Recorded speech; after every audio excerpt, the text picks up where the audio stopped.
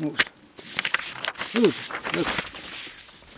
Reku paskaties sveicienu, ko vācieši pārņēma. Tas ir senu senas jau tūkstošiem gadu sveiciens šitas te, kas spēka vīri toreiz. Tikai tādā ziņā. Šo šities sveiciens ir komunistu sveiciens, ko sveicinās. O kas ir tām atpūtām? ir? Atpūtā man visu paņēma 96. gada. Ja atpūtas, ja aizsarguji grāmatas, pašu vēlmu. Re, kur mani ulmaņi ierots arī paņēma. Re, kur dabūju to mēs atradu to te uh, vienu kopiju. Man tur Nu, un, atnāca. un eh, šiti O. tev nepatika, tad tie 96. gadā, un reku šitas te, ko mani arestēja, paņēma, nu, ne uz ko.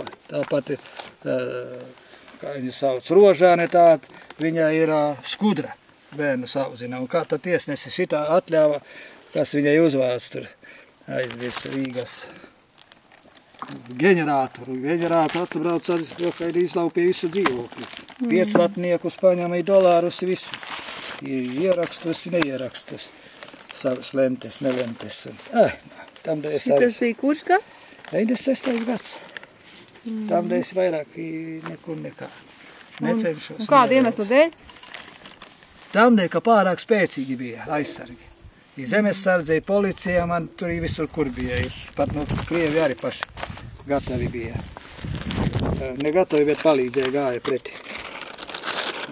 Eko šitas arī uz ēžiņas tur galvu lika, tikai viena arī aizgāja uz viņas saulē, cietumā viņa aizgāja viņas saulē. Nu, šita ir atkal piektā pulka. Nā, cilvēki atkal vien otri gāda par to, ka zina, ka Zīgims jau tāds ir, ka viņš jau tāds ir duls uz to. Mm. Ot, ko, nu, kā jau kājas. Un viņš viņš ir bijuši tādi paši. Mm. Vectēvs un kas tur kā. Ot. Lūk, tādas vietas. Un, ko gribu teikt, šito es atstāšu tos žurnālus jums. Ja? Pašam, un re, kur arī iekšā ir. Jo kas, ja interese. Formas ir visas, visu vēsturu gādāja, re, kur vēsturiski visas, kas vajag noteikumi ir aizsargi, lai izpildu. Šodien vēl nav izpildīts. Man ir not statuti, tur ir reģistrācijas lapa, kas Te ir. iekšā ir, ja? Nē, šitie nav.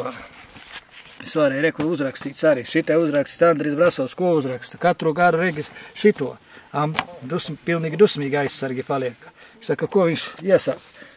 Šitā izdarījās, saproties. Viņš vēl negribēja likt šito te mūsu rakstu aizsargu. Tā ielieka, ka katru gadu jāiet. Rakstīts ir, teikts, pieprasīts kongresā. Katru gadu priekšniekam jāatskaitās. Viss. Ir ība mēs to pieprasījām. Lūk, mm -hmm. Lēčkols vēl man pievāca tās grāmatas.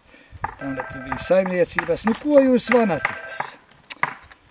Mārija, Tas ir otrā žurnālā iekšā. Viņš tur latīnis mācīsies.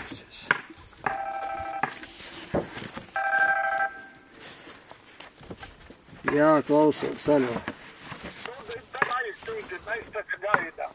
Klausāties, kurš jūs uz ugunsgrēku, es tagad tieši viņu atbrīvojos, mēs pārunājam lietas, būtību, man ir kur kafija palikusi, man šitie papīri jādod, žurnāli jābūt, un jūs lecat kā uz ecešām. Kas jums ir? Nu, uzgaidāt. Grūti uzgaidīt.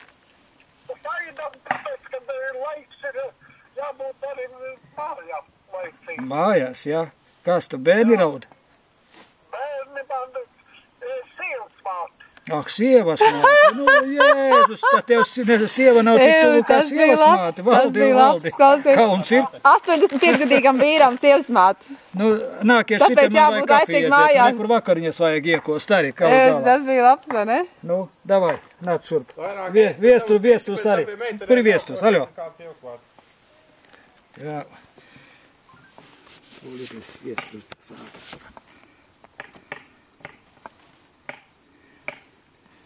Smierīgāk. Lūk, tādas lietas, un šitie ir aizsargi arī tie, kur 30. augustā ir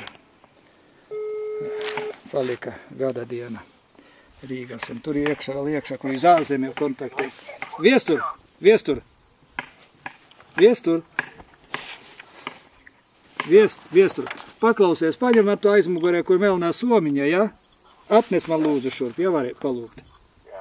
Davai šurp.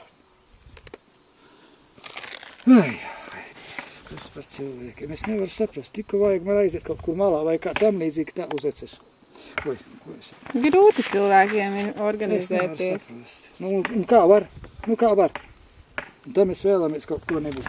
Tā ir mans, kam dēļ vajadzēja, tam dēļ, ka pārāk plaši aizsargu rindas bija. Zemesardze iznesimē. Kam dēļ? Jautājums un atbildi.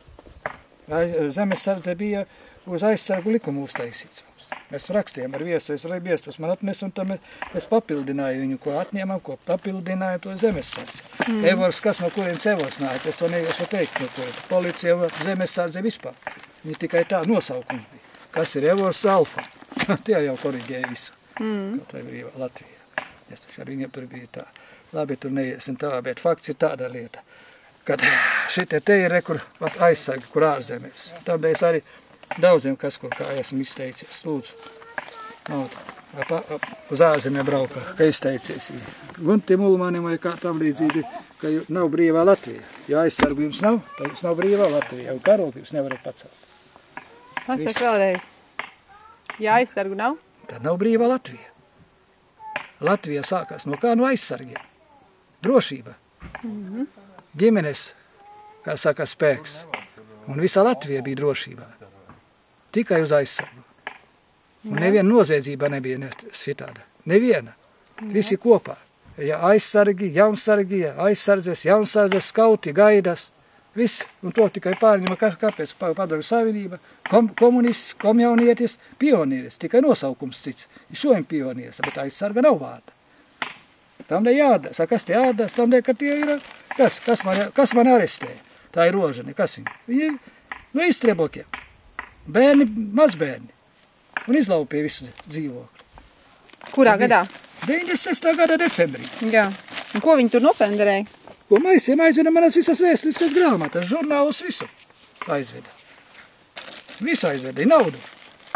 Ko tas var astoņus cilvēkus kontrolēt? Viens tikai šoferis krievs, tas tikai smējās. Staigā, kā Latvijas, Latvijas, Latvijas.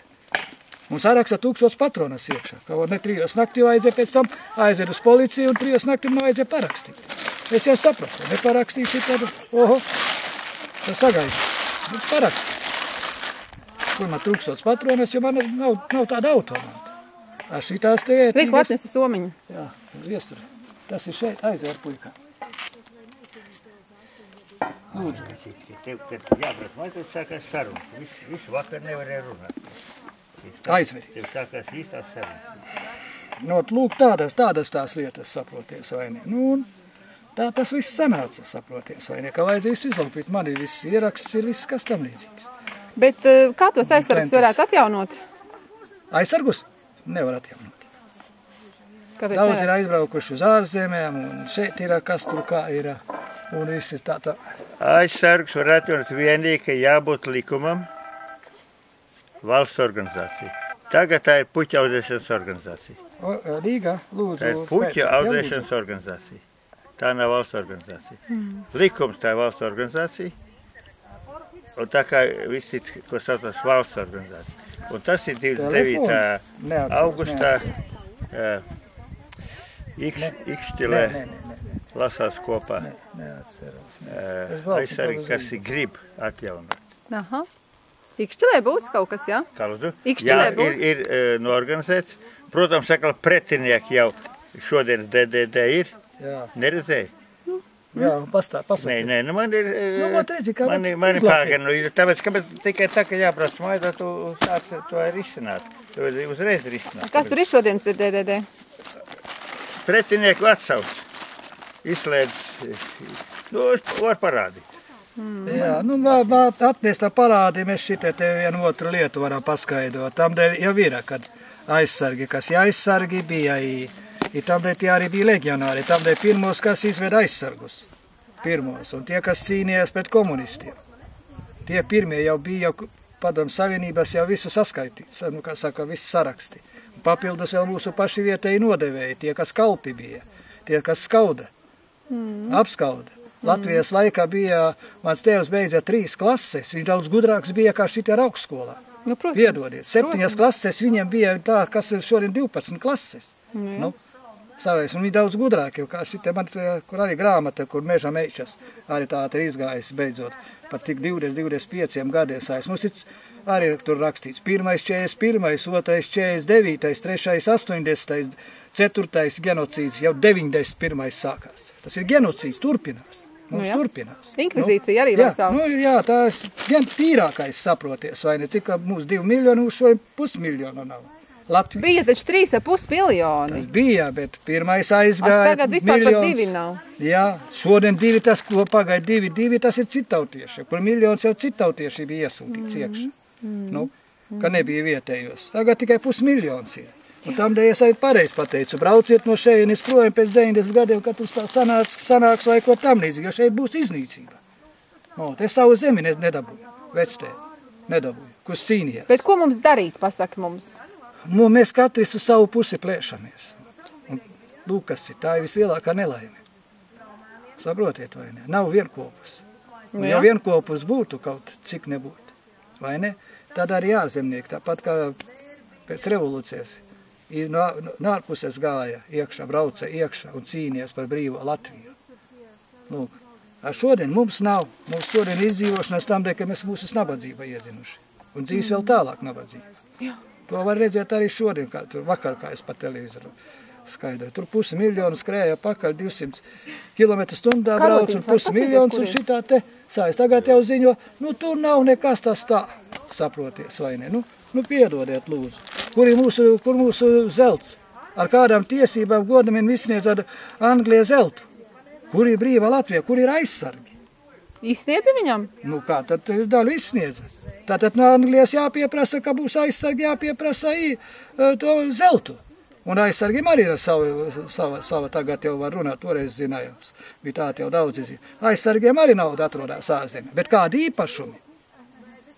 Lūk, vajag iziet viss šitās saraksts, cik daudz iznīcināti un kādi, kuri saņēmuši šitos īpašumus, kurus samai nomainījuši savus uzvārdus ar godmaņa svētību, Andri un cito te, kā saka, nagli un visiem tā tam līdzīgi. Ot, ar repsi un visiem. Tie visi jātiesā. Viņi ir jātiesā. Lūdzu, vai sākiet ar šito te jau sen Par kādiem teikuši. īpašumiem tagad iet runa? Par tā, tiem īpašiem mūsu pašu īpašumiem. Personīgi mūsu pašiem īpaši pēcnācējiem. Pēcnācējiem, kuri vēl dzīvi palikuši. Ne par aizsargu, bet par uh, Visu Latvijas. visu iedzīvotāju. Jā. Jā, visu iedzīvotāju. Kas te citiem krieviem nepietiks zemes, ne, nepietiks šitās te vietas, mums vairāk kā vajag. Lūdzu, strādājiet, bet viņi jau negrib vien neviens strādāt, pat Latvijas negrib strādāt. Mm. Kam dēļ tam dēļ, ka viņi turpinās genocīds. Un tas turpināsies. Ja mēs viens otru šitā te aprunāsim, jo tagad ir vairāk par mēli, vairāk maksā nekā par darbu. Mm. Toreiz Kālis Ulmanis, ka ieraudzīja kaut ko nebūtu, ka labu kaut ko izdomāja, viņš no bankas atlaida vispār eh, šito te, kā saka, parādus. Šodien otrais, kā tu izdomā tieši otrais, te ir cietumā liek. Mm. Tā kā es izdomāju, tu turpināju, kā aizsargāties, kā saka, drošību, visu ekonomiku, tā kā ekskursiju varētu veidot, nekas nenotika. Tā tikai sāk domāt par ekskursiju. Nu, piedodiet, lūdzu, ar ko? Nu, jā. Kā pliki esam. Nu, jā. Bet tikai es, ne, nu labi, viss es negribētu sevišķi tā, tam, tam dēļ es sievu zaudēju, tam dēļ zemi zaudēju, tam dēļ man tiesībās vēl balvas uztaisīja par dzērāju, un visu ko. Man labi, humānu nevajadzēs vadāt. Puj, Lētāk man iznāks, jo neviens negrib maksāt. Jā. Un benzīna pat nespēja ieliet. Par to, ka man ir pašam, tad es varu trenēt savas kājas. Bet jūs varētu mums atrast kādus cilvēkus, kas mums varētu palīdzēt ar to īpašumu atgūšanas procesu strādāt. Ir taču Ikšķelē būs kaut kāds pasākums, ja? Nu, Ikšķilē tur būs pasākums, un Daugavā svānāgi, un viss ir tas notiks atkal 22. izsūtītie un visu ko tam līdzīgi. Pēc 90. gada taču brauca no Sibīrijas arī izsūtītie. Viņi raudēja, ka- nebija ar ko naudas, nebija ar naudu, ko braukt atpakaļ. 92. 3. gada, kas notika. Nu, ja. Es pats zinu, kā māmuļa. Raudāja cilvēki, ģimenes raudāja, kā lai aizbrauc uz Sibīriju. Viņi nevarēja saprast, kas šeit notiek. Brīvā Latvija. Nu, Div- nav jau 93. nekāda brīvā. 4. gada jau sākās šī te. Nu, īpaši mums neatgrieza. Nu, ja. Nu, kompensāciju neatgrieza, neko neat. Tad kā? nu, tad saslēdzamies beidzot. Nu, Ja? Jūs. Ikšķelē varat nodot sveicienu no Latviešu biedrības, ja? Jā, kad mums vajag strādāt kopā un Satis- nosargāt mūsu īpašumus un atgūt viņus. jā. Lai top. Mēģi, mēģi. Tāpēc, ka eh, bez mūsu sadarbības pilnīgi nekas nenotiks, vai ne? Jā, kā viena valoda, tā viena doma, tā viena cīņa jābūt. Tā, Lai top. citas nevar būt. Paldies, ka jūs atbraucāt pie mums Jā. viņiem.